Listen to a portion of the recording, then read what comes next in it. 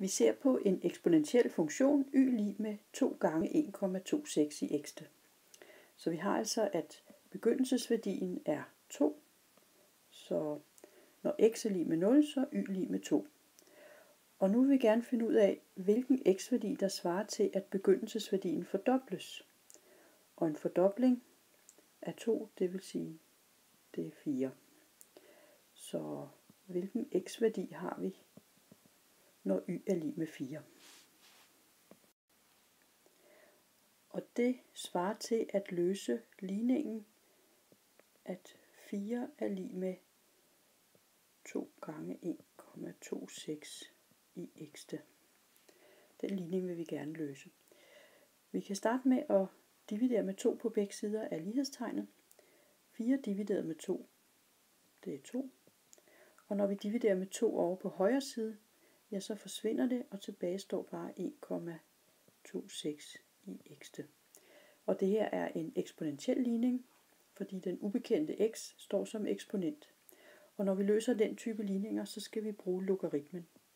Så jeg tager logaritmen på venstre side og logaritmen på højre side. Og så bruger vi en logaritmeregneregel, der siger, at øhm, logaritmen til en potens, det er det samme som eksponenten, det vil sige x, gange med logaritmen til grundtallet. Så vi har altså omskrevet højre siden, venstre siden, den er den samme. Og nu kan vi så på begge sider af lighedstegnet dividere med logaritmen til 1,26. Og så har vi fået isoleret x. Så logaritmen til 2 divideret med logaritmen til 1,26 er lige med x. Og hvis man regner det ud, så får man, at x er lige med 3.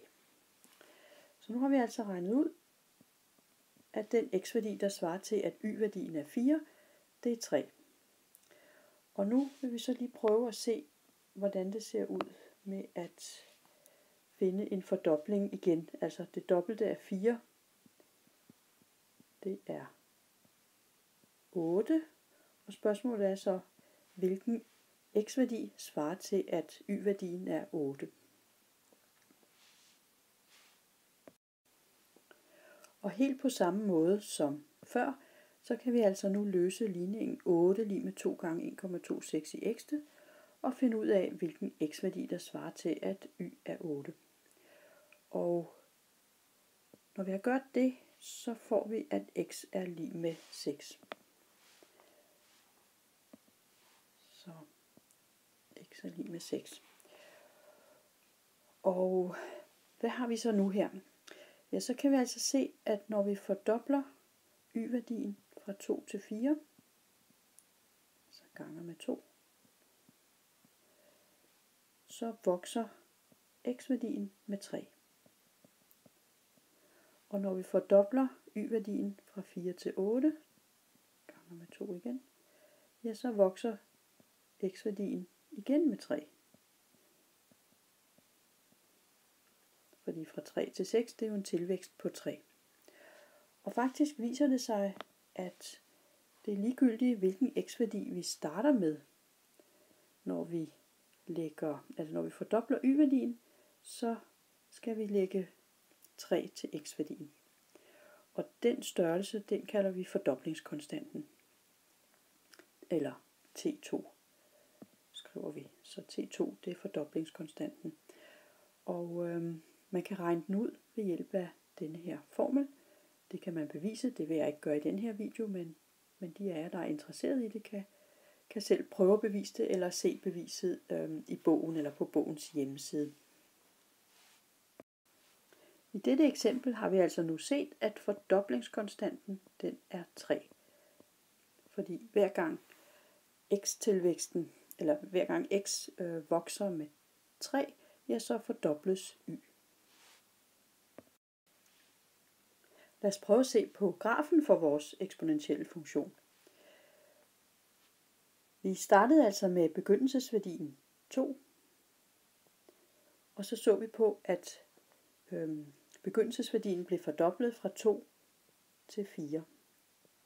Og hvis vi nu på grafen ser, hvilken y-værdi svarer til, at eller hvilken x-værdi svarer til, at y-værdien er 4, jamen det kan vi jo så aflæse, at det var 3. Det fik vi regnet ud før. Og hvis vi så fordobler igen, y-værdien fordobler den fra 4 til 8, så ser vi, at øh, x-værdien den bliver 6. Så nu kan vi altså se, at når vi fordobler her på y-aksen, så ganger med 2, og her ganger med 2, ja, så skal vi lægge 3 til på x-aksen. Vi går fra 0 til 3 og fra 3 til 6, altså også plus 3. Men øh, vi kunne også have valgt nogle andre størrelser. Vi kunne for eksempel have set på øh, y-værdien 5. Og der kan vi jo her på grafen se, at det svarer til, at x er 4. Og hvis vi fordobler fra 5 til 10, ja, så kan vi se, at når y er 10, så er